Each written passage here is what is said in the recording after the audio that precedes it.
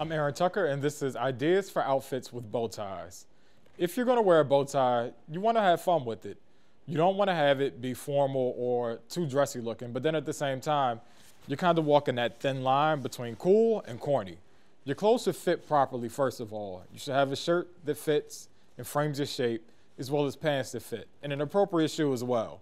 Some sneakers can be cool, boots and stuff can be cool as well, but an Oxford or a loafer preferably. You can wear it really casually, untucked, have your sleeves cuffed up a little bit. You can wear it like I'm wearing mine.